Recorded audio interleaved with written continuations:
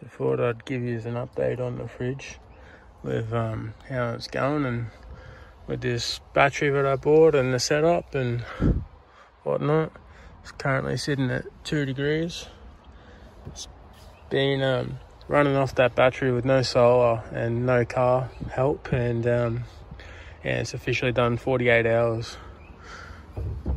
And the fridge is basically saying it's got a full battery. And that's reading at 12.4 volts, even though the um, camera doesn't want to focus. But yeah, thought I'd come through with that update that I told you guys I'd give you and cool.